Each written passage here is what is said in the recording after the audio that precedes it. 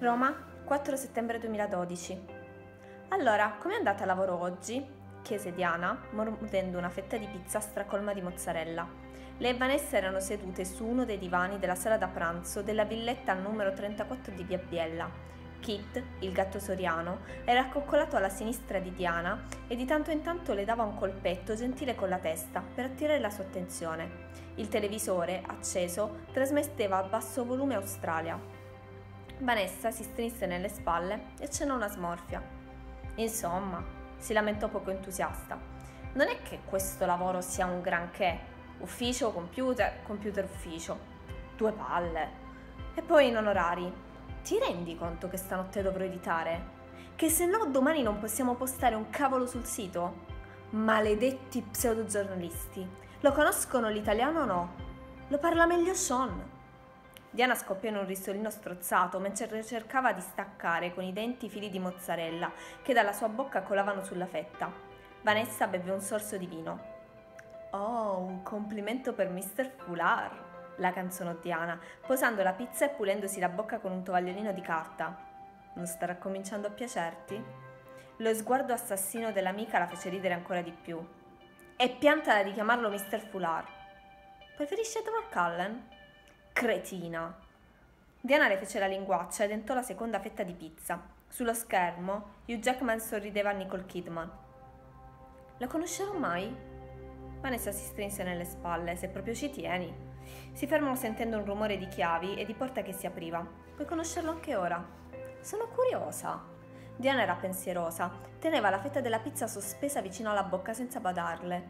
Secondo me sarebbe un personaggio interessante. Vanessa alzò gli occhi al cielo.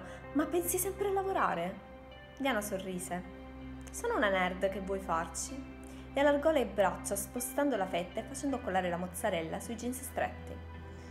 Merda! No, Kit, buono! Il gatto era scattato sulle zampe e tentava di mangiare la mozzarella.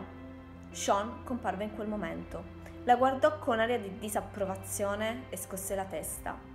Diana prese il tovagliolo e tentò di rimediare al disastro che aveva combinato. Kit! ripeté. Il gatto le soffiò contro, poi balzò giù dal divano e se ne andò via sdegnato. Buonasera. La voce profonda e roca di Sean le fece voltare entrambe. Vanessa rispose a saluto con un movimento appena accennato del capo. Il viso di Diana, invece, si illuminò nel suo più adorabile sorriso monellesco. Good evening, Mr. Prescott. Nice to meet you. Lo salutò con un accento inglese pressoché perfetto. Sean la squadrò dall'alto al basso, poi le voltò le spalle, entrando in cucina. Diana sollevò le sopracciglia in segno di approvazione, mentre seguiva con gli occhi il suo fondo schiena stampato in un paio di pantaloni grigi di tweed. Sempre simpatico, commentò acida Vanessa a bassa voce. Ma gnocco, rispose Diana voltandosi a guardare l'amica. L'hai visto il suo culo? Vanessa alzò gli occhi al cielo seccata. Tu passi troppo tempo con Logan. Diana annuì e sorrise appena. Probabile. L'hai visto comunque. Oh, ora capisco. È per questo che siete trasferita qui nonostante quel contratto assurdo, vero? Potevi dirmelo che era così gnocco. Anche se si interruppe e si portò una mano alla bocca, aggrottando le sopracciglia. E un'impressione. L'ho già visto da qualche parte. Il suo culo?